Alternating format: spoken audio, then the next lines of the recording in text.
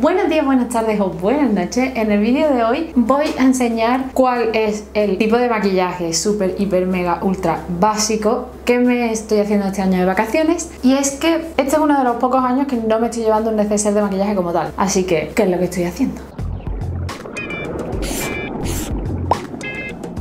Como he comentado en la introducción, no estoy llevándome un neceser de maquillaje y es que no me apetece estar mucho tiempo maquillándome, me apetece estar con mi familia, con mis amigos, disfrutando, relajando, haciendo cosas que no haga en el tiempo normal. Así que me fui una semana y pico de vacaciones en julio y me maquillé una o dos veces, no estoy segura. Y fue porque coincidió de que me arreglé y se estaban arreglando otras personas, me daba tiempo y me apetecía. Si no, no me hubiese maquillado. Así que lo que he estado utilizando es el neceser normal que tengo en el bolso. Este neceser tiene muchas cosas, aparte de maquillaje, o sea, creo que lo que menos tiene es maquillaje. Un espejo, enjuague bucal, crema de manos, un Kleenex, colonia, un tampón, cosas de higiene personal. Y el neceser, si te preguntas, es de por la patilla, que lo enseñé en un vídeo de un pedido que hice, lo dejo por la tarjetita. Y en este neceser tengo otro neceser, un pintalabios que me regalaron hace unos cuantos años ya por mi cumpleaños. Lo único que incluí fue un pintalabios, porque es verdad que no tengo ninguno aquí, entonces por si me apetecía, pues ahí lo eché. Voy a utilizar el espejo ya que estoy y nos quedamos con este neceser. Voy a maquillarme solo mitad de cara para que se pueda ver con súper pocos productos, es que es lo que llevo aquí, cómo puede cambiar un poco el rostro y cómo te da un aspecto de buena cara y demás. Y obviamente bueno, obviamente no, aquí podría caber algún pincel de ojo, pero no tengo ningún pincel. Lo que hice fue maquillarme con las manos y sacamos un producto, dos productos, tres productos, cuatro productos y un pseudo producto. Así que maquillaje con cinco productos teniendo en cuenta que tengo el labial ahí. Yo últimamente, las veces que me maquillo cuando salgo a la calle, lo que me aplico en los labios es simplemente un bálsamo. Entonces, de mi cuidado personal, de higiene y demás, en el neceser llevaría un bálsamo también, que si no quiero utilizar el labial que me he llevado, pues utilizaría eso. El espejo que tengo es de Primar, es de los que supuestamente tienen lucecitas, pero hace mucho que las luces son muy chungas y no alumbran nada. Pero bueno, tiene un espejo de aumento y uno normal, no está nada mal, es bastante compacto, aunque sí que es grande. También se puede poner hacia atrás del todo, o sea, lo puedes apoyar en la mesa, está bien, está cómodo. Primer producto que utilizaría sería un corrector o imprescindible y lo utilizaría en la zona de la ojera, un poco el triángulo, ¿vale? No subo del todo, pero sí que lo aplico bastante arribita y con el dedo difumino. Yo no llevo un corrector en concreto y repito siempre con ese y demás, llevo el que esté gastando, ahora mismo es de Bell de la gama hipoalergénica. Lo aplico solo por la zona de la ojera y lo difumino hacia abajo, no lo aplico en el párpado. Si tuviesen marquitas que quisieras cubrir también lo aplicaría, por ejemplo yo tengo aquí una, lo que pasa es que con la mascarilla esta mm, se me iría el corrector en nada, así que me parece un poco tontería. No es el corrector que más cubre, pero bueno, tampoco es que quiera algo muy cargado porque no lo voy a sellar, no llevo polvos compactos porque cuando me maquillo en estas ocasiones un maquillaje súper rápido para poco tiempo de imprevisto, por así decirlo, entonces por no abultar más y que no me pese más el bolso, no me llevo los polvos. El siguiente producto que utilizaría sería para las cejas y aquí es donde está el pseudo producto. Cuando terminé mi lápiz favorito de Better, que ya como ves no se podía hacer más por él, me quedé con el gupillón chiquitito. Como se queda tan pequeño me parece perfecto para estos neceseres y el próximo que termine tampoco lo tiraré porque se puede poner en otro lado o dárselo a alguna persona que le va a venir súper bien así que con este gupillón me peino las cejas, para mí el peinarla es algo imprescindible. Una vez que se peina lo que hago es maquillarlas y sellarlas con un producto que lo abarque todo, no utilizo un lápiz por un lado y un fijador por otro.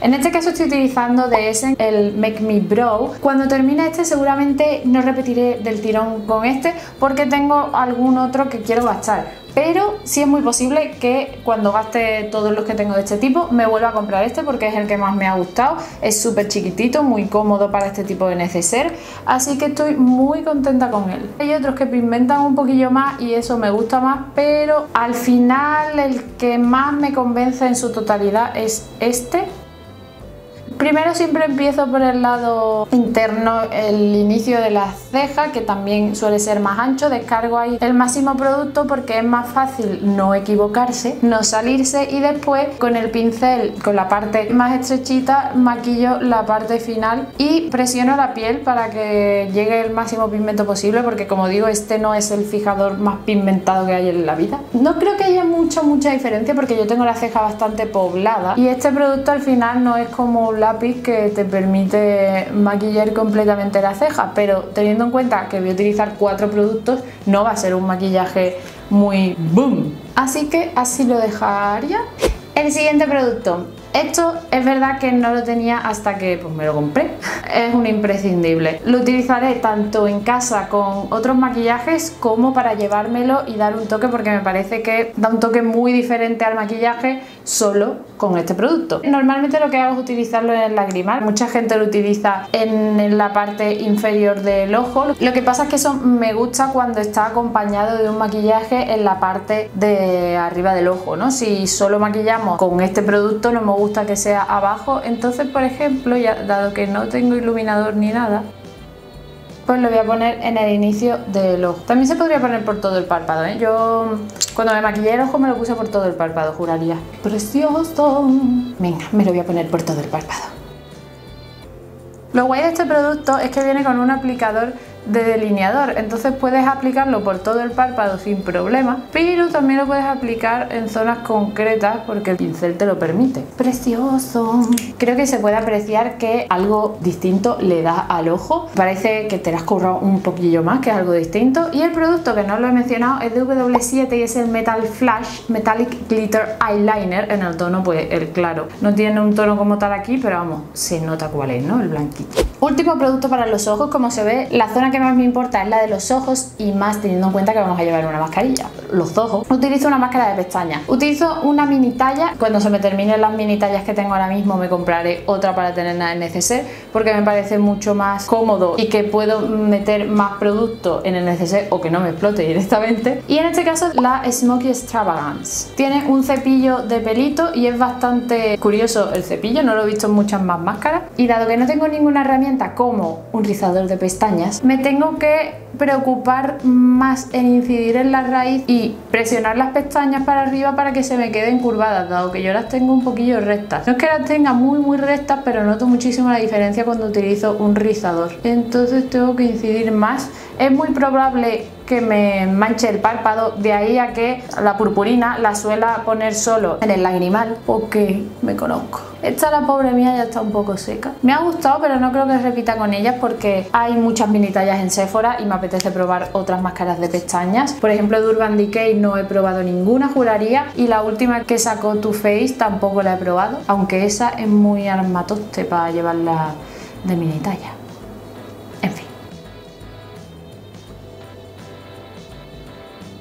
Pero el efecto es muy bonito, lo que pasa es que la pobre está ya muy sequita.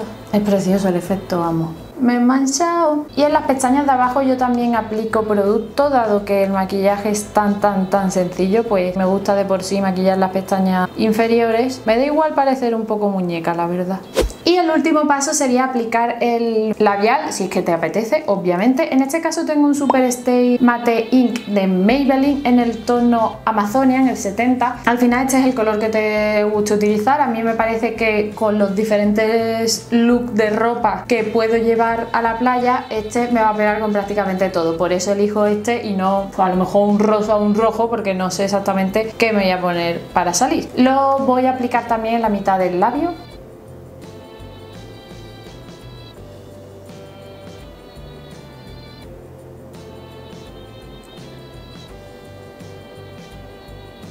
Y a mí estos labiales me gustan un montón porque son fijos pero no resecan absolutamente nada. A mí la mascarilla este sí que me la ha manchado. Yo sé de gente que los utiliza y que ahora mismo están promocionando por las redes sociales que no manchan la mascarilla. Es verdad que cuando se secan no suelen manchar, pero a mí me han manchado la mascarilla. Así que no voy a decir lo contrario, aunque es verdad que es el que utilizo. No me voy a poner otro cremoso, el que utilizaría sería este del tirón. Pero bueno.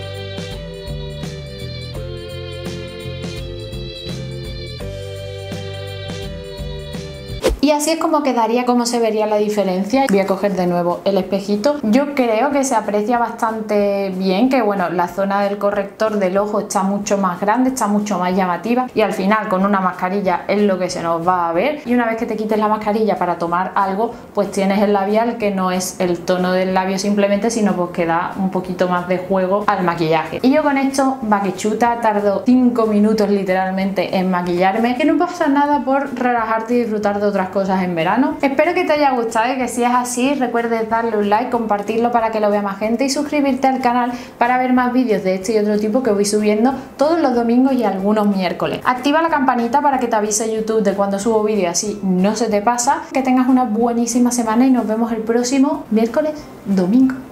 Who knows?